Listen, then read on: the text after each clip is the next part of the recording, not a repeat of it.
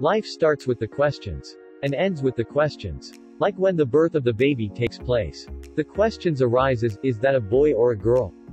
When the child was born. And when the life ends questions takes place as what happened. When, where, how. So, questions get mixes with our lifestyle. Since we took birth.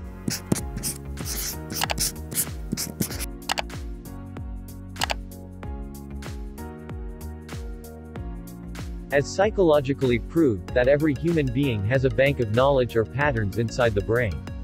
When we observe something new or different it doesn't fit into the stored memories, knowledge or the patterns stored in the brain. When it cannot be deducted from what we already know, we invariably raise a question and if we get a reply that can fit in, we feel satisfied that our question has been answered. Human beings are interested in the things or concept which arises questions question arises when we simply observe such things and we observe things when we are interested in it. They learn from the questions they ask. Humans grow through the path of questions.